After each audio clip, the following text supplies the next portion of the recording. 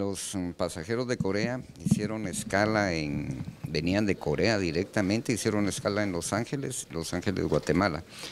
Inmediatamente nosotros tomamos la decisión de tomar a los dos, es una pareja, y los llevamos inmediatamente al hospital de Villanueva para tenerlos en cuarentena. Ahí se les está haciendo en este momento toda la evaluación epidemiológica y haciéndole el hisopado nasofaríngeo.